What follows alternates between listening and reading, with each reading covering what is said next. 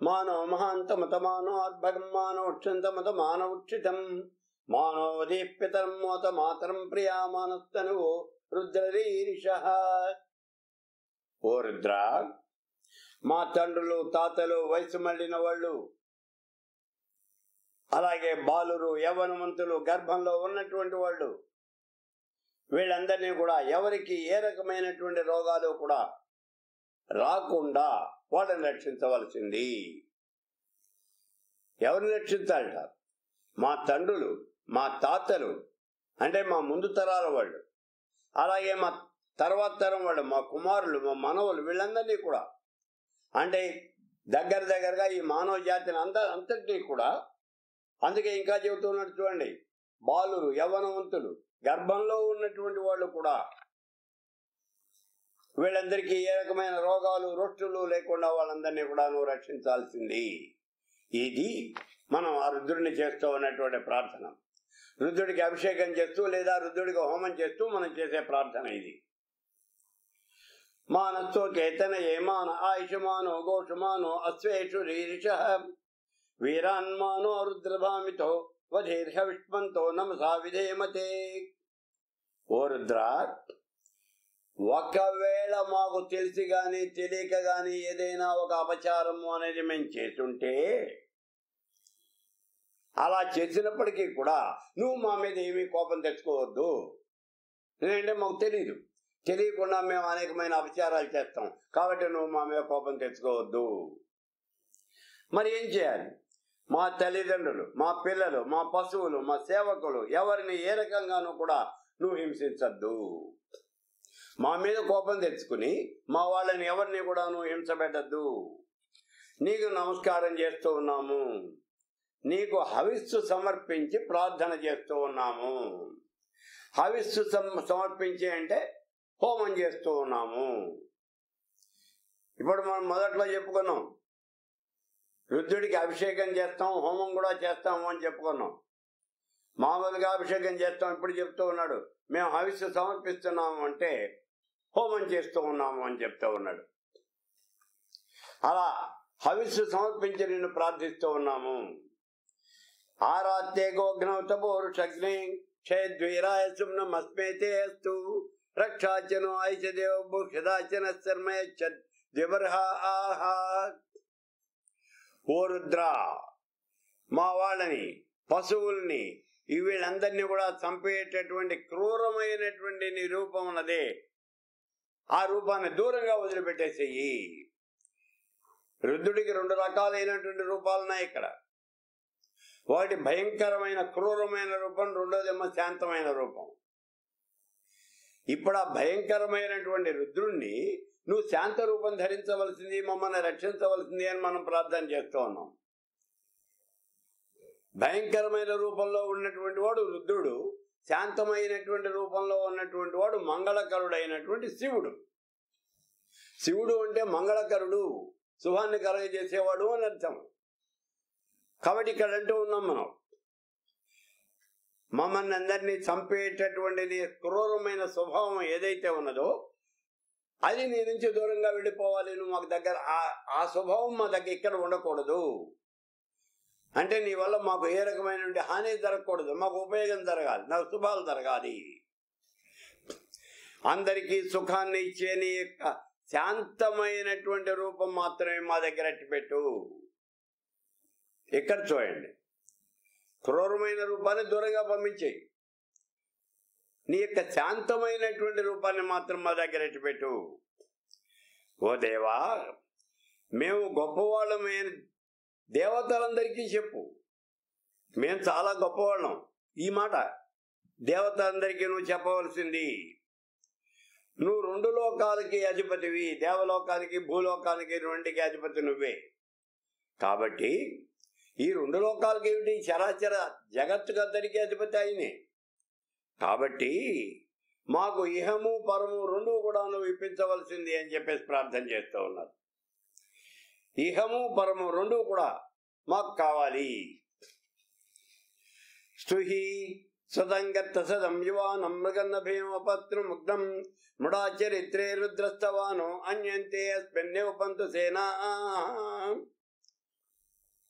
ఓ వాక్కు వాక్కుని ప్రార్థన చేస్తూ ఉన్నాడు ఓ వాక్క. నువ్వు హృత్పుండరీకమునందు ఉన్నటువంటి వాడు నిత్య యవ్వనుడు ఏనుగు మీదికి దూకేటటువంటి సింహంలాగా ప్రళయకాలంలో భయంకరమైనటువంటి రూపం కలిగినటువంటి వాడు ప్రసిద్ధుడు అయినటువంటి ఆ రుద్రుణ్ణి స్థుతి చేయవలసింది అని ప్రార్థిస్తున్నాడు. ఇక్కడ వాక్కుకి చెప్తా ఉన్నాడు. ఈ రుద్రుడు ఎక్కడ ఉన్నాడట? హృత్పుండరీకమునందు ఉన్నటువంటి వాడు హృదయ పద్మమునందు ఉన్నటువంటి వాడు. హృదయము అనేటటువంటి పద్మంలో స్థిర ఏర్పాటు చేసుకుని అక్కడ ఉంటున్నటువంటి వాడు ఈ ఈశ్వరుడు. అటువంటి హృత్పండరీకంలో ఉన్నటువంటి ఉన్నవాడు. ఆయన ఎలా ఉన్నాడంటే నిశ్చయవన సంపన్నుడు. పరమేశ్వర స్వరూపాన్ని గురించి మనం చెప్పేదే. నిశ్చయవన సంపన్న. ఇక మంచి బలము పరాక్రమము పౌరుషంతో ఉంటాడు. ఎలాగంటే ఏనుగు మీదుగా లంఘించేటటువంటి కుప్పించి లంఘించేటటువంటి ఆ యొక్క సింహంలాగా ఉంటాడు. ప్రళయకాలంలో భయంకరమైనటువంటి రూపాన్ని ధరించి ఉంటాడు. ఎందుకంటే జగత్తులన్నీ కూడా నాశనం చేయాలి కాబట్టి. అటువంటి ప్రసిద్ధుడైనటువంటి ఆ రుద్రుని ఓ వాక్క నువ్వు ఆయన్ని చుతించవలసింది అని అంటూ ఉన్నాడు. నువ్వు ఇంకేం మాట్లాడద్దు. కేవలం ఆ రుద్రుణ్ణి స్థుతి చెయ్యి అలా అని ఓ రుద్ర నా వాక్కు చేత స్థుతించబడినటువంటి వాడవై నాకు సుఖాన్ని కలిగించవలసింది. నేను వాక్కుతో నిన్ను స్థితి చేస్తూ ఉన్నాను. నువ్వు సంతృప్తి చెంది నాకు శుభాన్ని కలిగించు. నీ సేనలు నన్ను వదిలిపెట్టి నా శత్రువుని వధించుగాక. నా శత్రువులందరినీ కూడా సంహరించవలసింది అని చెప్తా ఉన్నాడు.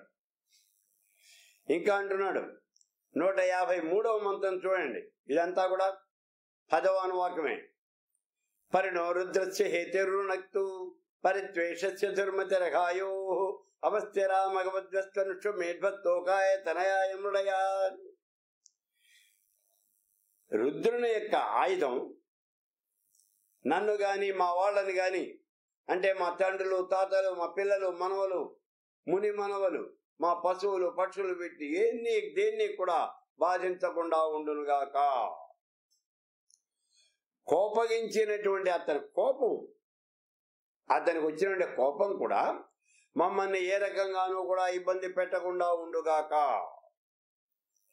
ఓ రుద్ర శత్రువులను సంహరించేటటువంటి నీ ఉగ్రమైనటువంటి రూపం ఏదైతే ఉన్నదో దాన్ని మా దగ్గర ప్రదర్శించద్దు మా దగ్గర కేవలము శాంతమూర్తిగా ఉండవలసింది అని మనం రుద్రుడిని ఇక్కడ ప్రార్థన చేస్తూ ఉన్నాడు. మీరుష్టమ శివతమ శివోన సుమనాభవ పరమే వృక్ష ఆయుధం నిధానం నిధాయ కృత్యం వసానం ఆచరపినాకం బిబ్రదాగహీ భక్తుల కోరికలు తీర్చేవాడా? ఓ శాంత స్వరూపుడా నువ్వు మా మీద కోపం లేకుండా పరమ శాంతంగా ఉండవలసింది.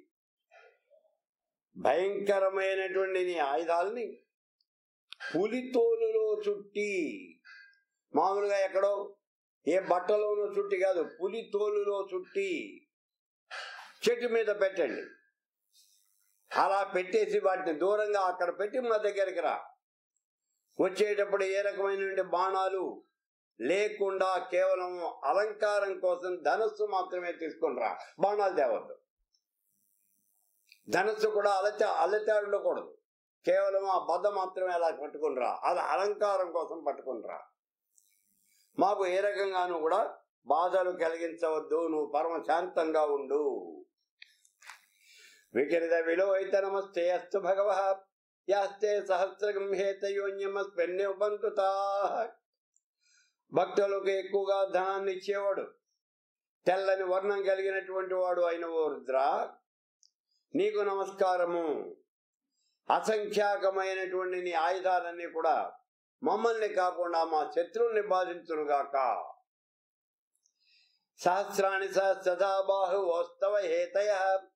సమీశాను భగవత్ పరాచీన ముఖాకృతి ఓ భగవంతుడా నీ చేతిలో ఉన్నటువంటి పదునైనటువంటి అసంఖ్యాకమైనటువంటి ఆయుధాలు మా మీదికి రాకుండా చూడవలసింది మమ్మల్ని రక్షించవలసింది అని ప్రార్థన చేస్తూ ఉన్నారు ఈ పదవ అనువాకంలో.